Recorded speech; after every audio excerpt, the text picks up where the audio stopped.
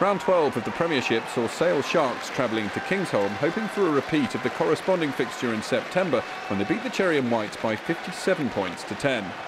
Since then, Gloucester have only lost one match in this competition to Wasps in the previous round at the Ricoh. The opening quarter of the match belonged to Sale, with fly half AJ McGinty converting two penalties to give Steve Diamond's men a 6 0 lead.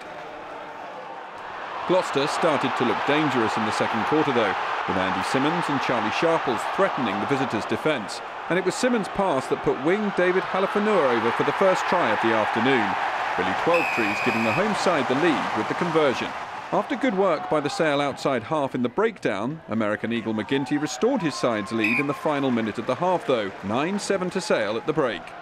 Gloucester scored the opening points of the second half, with Ben Vellacott starting due to skipper Willi Heinz' injury, making the most of the bouncing ball when McGinty tried his best to steal it. But the fly half made amends when he scored minutes later by combining with his half-back partner in a set-piece move, Faf de Klerk setting the American away. In the end, it was Twelvetrees penalties that won Gloucester the game. The first in the 64th saw Johan Ackermann's men retake the lead before his second took the score to 20 points to 16. And despite the late pressure from Sale, the home side, backed by a sellout crowd, managed to hold out to end 2017 on a high. 20 points to 16, the final score at Kingsholm.